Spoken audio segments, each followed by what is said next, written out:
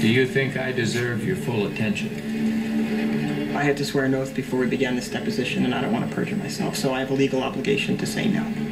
Okay, no.